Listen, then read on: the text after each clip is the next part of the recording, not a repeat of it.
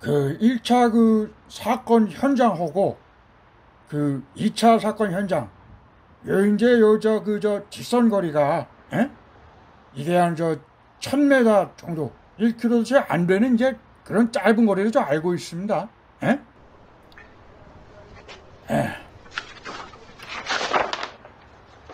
에. 에. 피해자는 그 12일, 16일 그 양일간에 에? 그 12시 아 10, 12월 16일 12월 16일 저 12시에 에?